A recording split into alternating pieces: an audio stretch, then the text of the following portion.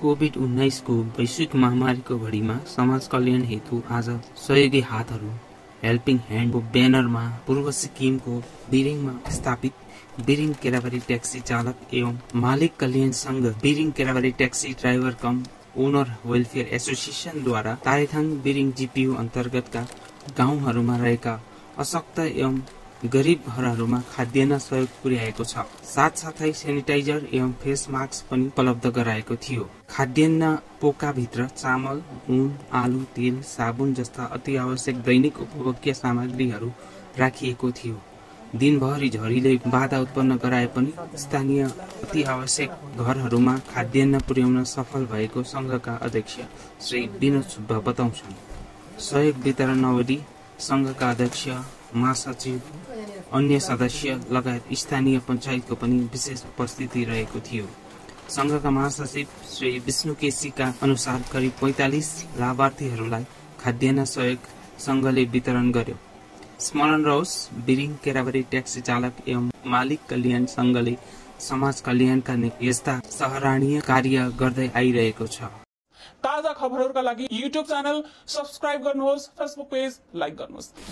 र आज यहाँ लोवर तारेथाङ वार्डमा उपस्थित बिरिङ केराबारी एसोसिएसनका भाइहरूले यस कोभिडको महामारीको विषय लिएर गाउँघर बिरिङ भित्रिमा जति पनि बिपिएल गरिब क्याटेगोरीका मानिसहरूलाई उहाँले राहत सामग्रीहरू खाना चामल तेल दालहरू उहाँले वितरण गर्नुभएको छ र यसमा म वार्ड पञ्चायत लगायत बिरिङ ताराथाङ पञ्चायतबाट उहाँहरूलाई मुरीमुरी धन्यवाद दिन चाहन्छु। उहाँहरूले यस्तो कोभिडको महामारीमा पनि उहाँहरू एसोसिएसनले जुन हामीले गरिब दुखीहरूलाई सहयोग गर्नुपर्छ भन्ने उहाँहरूको इच्छा भएकोले गर्दा उहाँहरूले सहयोग जिपियुमै जति पनि महानुभावहरूलाई आज उहाँहरूले धेरै सहयोग गर्नुभयो। दोकानमा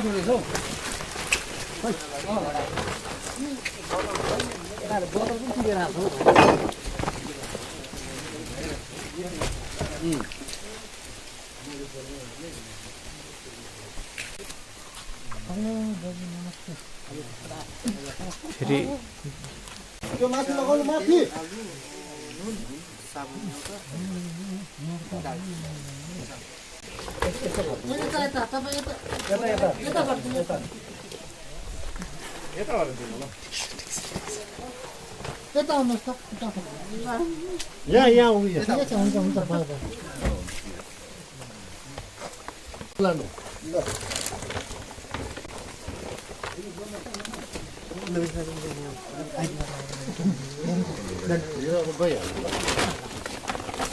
पूर्णमात्र कार्तिक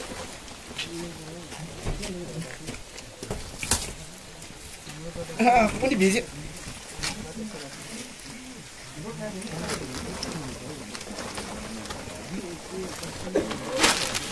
सोमनाथ बस्ने सोमनाथ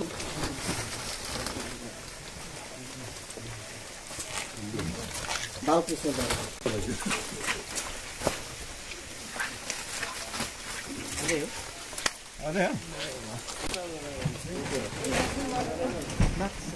खुट्राले लगाएर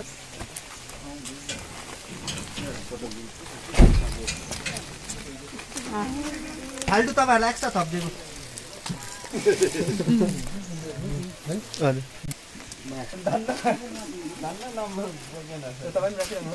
पढ्नु जानुहुन्छ तपाईँ ओ बुढाको पुरानो भयो तपाईँको पुरानो भयो खासमा चाहिँ ऊ अब चाहिँ हेरेको देखेको चाहिँ बुढालाई पुलिसलाई बोलाउनु पर्ने। लो यो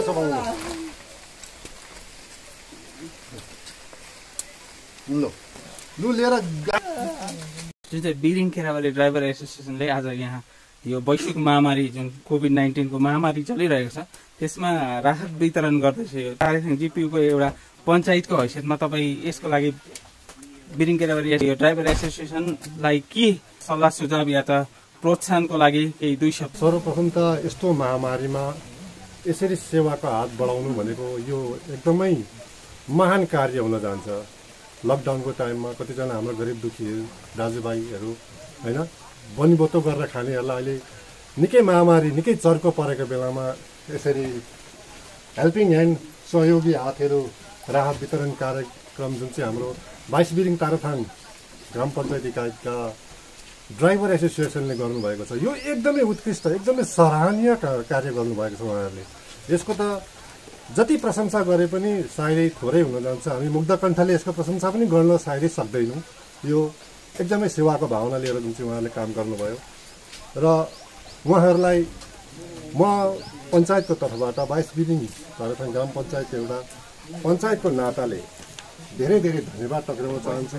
उहाँले हाम्रो जिपियुभित्र यसरी दुःखमा परेका आफ्नो दैनिक बिहान बेलुकाको छाक जुटाउनलाई साह्रो परेका महानुभावहरूलाई चयन गरेर यसरी राहत वितरण गर्नुभएकोमा म सर्वप्रथम उहाँहरूलाई त धेरै धेरै धन्यवाद दिन चाहन्छु र उहाँहरूको जुन चाहिँ एसोसिएसन छ यसको उत्तरोत्तर प्रगतिको कामना गर्दै भविष्यमा पनि यस्ता राहतका कामहरू यस्ता अर्कालाई सेवामा सेवा पुर्याउने यस्ता भावनाहरू उहाँको मनमा जागरुक भइरहोस् भन्ने यही शुभकामना व्यक्त गर्न पनि चाहन्छु। मलाई लाग्छ अब ताराथाङबाट विशेष गर्दा यसमा पन्ध्रदेखि बिसजना ताराथाङको लाभान्वित भएका छन् हाम्रा गरिब दुखी दाजुभाइहरू। अप्पर र लोवर ताराथाङ गरेर यसमा बिरिङमा पनि अब भयो। यस्तै नै पन्ध्र बिसजना। लगभग उहाँहरूको अहिले आजसम्म मैले विचार गर्दाखेरि चालिस पचासजनालाई यस्तो खालको सहयोग पुर्याउनु भएको मलाई अनुमान छ। र मलाई हिजो बेलुका मात्रै नै थाहा भयो ड्राइभर एसोसिएसनबाट कि हामी यस्तो यस्तो काम गर्दैछौँ भनेर हो। अब गर्नु हुन त गर्न सक्नुभयो होला। अब हाम्रो गाउँबाट पनि दाजुभाइ हुनुहुन्छ अब। अब ड्राइभर एसोसिएसन भन्दा अब सबै नै बिलिङ ताराथाङको चालक दाजुभाइहरू त त्यसमा संलग्न हुनुहुन्छ। अवश्यमेव पनि हाम्रो गाउँबाट पनि गर्नु भएको छ उहाँहरूले एकदमै सहयोग यो कुराको चाहिँ हामीलाई जानकारी छ। अगाडि अघिल्लो महामारीमा त अब हामी पञ्चायतकै तर्फबाट गरेको थियो। यो त पञ्चायतले नै अब सरकारी तवरमा हामीले सबैलाई छुट्याएर गरेको थियो। तर कुनै एनजिओले आएर त्यसरी जान बाँडेको जानकारी मलाई सायद बाँड्न त बाँड्नु भयो होला तर मेरो जानकारीमा आउन सकेन। थियो छुट्न त अवश्य मेरो छुटेको हुनसक्छ। पक्कै पनि छुटेको छ। अब कतिजनालाई यो चाहिँ अब हामीले अहिलेको क्याटेगोरी जुन चाहिँ हामीले बाँड्यौँ उहाँहरू चाहिँ एकदमै गरिबी रेखादेखि पनि मुनिको लाई छानेर गऱ्यौँ हुन छ अझै गाउँमा त्यस्तो कतिजनालाई अझै दुःख परिरहेको नि हुनसक्छ। जो अब कोअपरेटिभको माध्यमबाट हामी पञ्चायतको तर्फबाट पनि उहाँहरूलाई माग त गरिरहेको छौँ हामी उहाँहरूकोमा के कसो छ? सहयोग पनि पुर्याउनु भयो। एकदम सहयोग अब पुर्याइहालेको त छैन तर पुर्याउनु परेका खण्डमा हामी रेडी छौँ पुर्याउन। तर अहिलेसम्म हामीलाई त्यस्तो एकदमै अभाव नै छ। हामीलाई यस्तो भयो भन्ने हाम्रो वार्डबाट चाहिँ हाम्रो गाउँबाट कुनै त्यस्तो कम्प्लेन आएको छैन कि हामीलाई अन्नको एकदमै अभाव हुँदैछ हामीलाई खानाको अलिकति अभाव हुँदैछ त्यस्तो कुनै पनि कम्प्लेन आएको छैन। तर आएका खण्डमा हामी एकदम प्रिपेयर छौँ। तपाईँलाई विशेष धन्यवाद दिन चाहन्छौँ यहाँ हामीलाई छोटो समय दिनुभएकोमा। धेरै धेरै धन्यवाद तपाईँहरूले। आएर हाम्रो गाउँमा म फेरि पनि सम्पूर्ण ड्राइभर एसोसिएसनलाई फेरि पनि म धेरै धेरै धन्यवाद दिन्छु। उहाँहरूले यो जुन चाहिँ कार्य गर्नुभएको छ यो एकदमै प्रशंसनीय कार्य छ। धन्यवाद। बिरिङ तारेथाङ जिपियु अन्तर्गत Biring Kerabari driver cum owner welfare association जुन छ। उहाँहरूले एउटा राहत यो वैश्विक महामारीमा राहतको सामग्रीहरू वितरण गर्दै आइरहनु भएको छ। आजको दिन उहाँहरूले बिरिङ लगायत तारेथाङका विभिन्न वार्डहरूमा राहत सामग्रीहरू वितरण गरेर यहाँ अहिले हामी अप्पर तारेथाङ यहाँ आइपुगेका छौँ। यहाँ लगभग गरेर सायदै उहाँहरूले त्यो वितरण गरिसक्नु भएको अवधि जस्तो लाग्दैछ। हाम्रो साथमा बिरिङ केराबारी ड्राइभर एसोसिएसनका जेनरल सेक्रेटरी हुनुहुन्छ। उहाँसँग केही वार्तालाप गर्नेछु म। धन्यवाद। र साथसाथै म सबै मेरा ड्राइभर सदस्यहरूलाई धन्यवाद दिन चाहन्छु कि हामीले यो कार्यक्रम गर्दाखेरि चाहिँ उहाँहरूले एउटा एक्टिभली हामीलाई सहयोग गरेर हरेक कुरामा सहयोग गरेर चाहिँ यहाँसम्म हामीलाई सफल बनाउनु भएकोमा हामी म सम्पूर्ण एउटा जेनरल सेक्रेटरीको हैसियतमा चाहिँ म सम्पूर्ण हाम्रो प्रेसिडेन्ट भाइस प्रेसिडेन्ट ट्रेजरर लगायत सम्पूर्ण मेम्बरहरूलाई धन्यवाद दिन चाहन्छु। साथै हाम्रा हामीलाई यो काम गर्ने भनेर भन्दा सहजै हामीलाई यो काममा चाहिँ साथ दिनुहुने जस्तै हाम्रो गाउँको दाजु युवा बराल कवि युवा बराल हुनुहुन्छ उहाँले हामीलाई केही रकम पनि सघाएर सघाउनु भएको थियो उहाँलाई पनि हामी धन्यवाद दिन चाहन्छौँ। र साथसाथै दाजु बिएन दाजु जो उहाँले पनि हामीलाई सामानहरू यता त्यता गरिदिनु गर्नुको लागि चाहिँ उहाँले दिनुभयो कतिवटा गर्नुभयो हेल्प गर्नुभयो। अनि त्यसमा सुझाव पनि दिनुभयो उहाँलाई पनि धन्यवाद दिन चाहन्छु। र भाइ पवन हाम्रो पुलिस इन्सपेक्टर पवन। भाइ उहाँले पनि हामीलाई पाकिङ फुड इन्सपेक्टर उहाँले पनि हामीलाई कम्ती दाममा चामलहरू वितरण गरिदिनु भयो उहाँलाई पनि हामी धन्यवाद दिन चाहन्छौँ। र हाम्रो पञ्चायत मेम्बर दाइसबिरिङ पायाथाङका पञ्चायत मेम्बर सबैलाई चाहिँ हामी धन्यवाद दिन चाहन्छौँ। उहाँहरूले पनि एउटा राम्रो सुझाव दिएर चाहिँ हामीलाई यो काम गर्न चाहिँ सफल बनाइदिनु भयो हामीले चाहिँ पाँचवटा वार्ड गरेर बेरिङ पायाथाङ जिपियुमा पाँचवटा वार्ड गरेर पैँतालिस घरका जस्तै निम्न वर्ग अचम अचम्मै निम्न वर्गका मान्छेहरूलाई चाहिँ हामीले दिन सहयोग गर्न सफल भयौँ। जस्तै हामीले चाहिँ कुन हेऱ्यौँ भने लास्ट इयर हामीले के गर्यौँ भने लास्ट इयरको जुन चाहिँ लकडाउन थियो त्यो टाइममा चाहिँ मान्छेमा यति बेसी त्रास थियो बा केही भइहाल्छ कसो हुन्छ भन्ने चाहिँ पुरा डर थियो र हामीले सेनिटाइज गरेको थियौँ। त्यो भएर चाहिँ योपालि हामीले खासै पहिला चाहिँ हामीले एउटा गाडी सपोर्ट गरिदिनु पर्यो भनेर हामीले त्यो सोचेको थियौँ। त्यो सोच्दाखेरि चाहिँ अलिक गाडीमा मिलेन हाम्रो कुदाउने मान्छे नभएर अथवा गाडी नमिलेर चाहिँ के गर्नु भनेर सोच्दाखेरि। गाडी कुदाउने मान्छे नहुनुको मतलब गाडी भनेको जस्तो गाडी भएन हाम्रोमा। हामीले एउटा एम्बुलेन्स खालको गाडी पाएको भए ठिकै हुन्थ्यो अब बिमारीहरू लिएर जानुपर्ने त्यसमा चाहिँ हाम्रोमा त्यो सुविधा भएको गाडी नहुँदाखेरि चाहिँ हामीले यो राहतै दिउँ भनेर सोच्यौँ। राहत दिँदा पनि त्यति बेला के थियो भने गाउँमा बाहिरबाट आएर बसेका कति मान्छेहरू छन् उहाँहरूले काम गरेर गर्ने ठाउँ पाइरहेको छन् तिनीहरूलाई सबैलाई सहयोग हुने र हाम्रै गाउँ बस्तीकै यहीँका लोकलहरूलाई पनि किनेर खानको लागि अब पैसा पनि यो टाइममा कमाउने ठाउँ नहुँदाखेरि हामीले हुन त ड्राइभर एसोसिएसनमा हाम्रोमा कसै कमाउने भक्कु कमाएर राखेको छैन सबै गाडीको लोन छ इएमआई तिर्नुपर्छ। हामी पनि गाडी नकुदाएको एक डेढ महिना भयो कुदाउनै नकुदाएको अनि त्यो टाइममा अगाडि पनि गाडीमा त्यस्तो कमाइहरू पनि केही थिएन। र भए पनि यो सबै ड्राइभरहरूले जति पर्छ भागमा हजार पाँच सौ कति हुन्छ निकालेर चाहिँ हामीले दिएको दिनको लागि चाहिँ हामीले यस्तो सोच्यौँ। जो मान्छेहरूले जो मान्छेहरू जिनहरू नै छन् जसको केही गरी खान सक्दैन अस्ति उनीहरूले कमाउँदाखेरि हाम्रै ड्राइभरहरूको घर चलाउँथे उहाँहरूले र हामीले उनीहरूलाई पर्दाखेरि जसरी भए पनि हामी चलाउँ भन्ने हाम्रो यो सोचले हामीले उहाँहरूलाई सपोर्ट गऱ्यौँ र अहिले हामीले पैँतालिस घरलाई चाहिँ सपोर्ट गर्न अहिलेसम्म हामीहरूलाई हाम्रो बाहिरबाट चाहिँ त्यस्तो खासै सहयोग त छैन। हामीलाई आएको सहयोग हाम्रो दाजु युवा दाजुले गर्नुभयो। त्यहाँबाट हाम्रो पञ्चायत मेम्बर हुनुहुन्छ रञ्जना रसाइली उहाँले गर्नुभयो। उहाँहरू दुईजनाले फाइनेन्सियली सपोर्ट गर्नुभयो।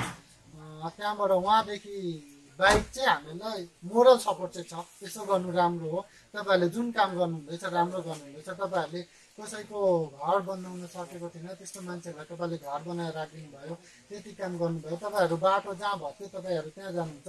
जसकोमा पऱ्यो अगाडि तपाईँहरू जानुहुन्छ ड्राइभर तपाईँहरूको association taxi driver cum owner association तपाईँको त्यहाँ जानुहुन्छ र तपाईँहरूले हरेक सामाजिक काममा सहयोग गर्नुहुन्छ र यो पनि तपाईँहरूको राम्रो हो भनेर भन्नुभयो भनेर सपोर्ट छ।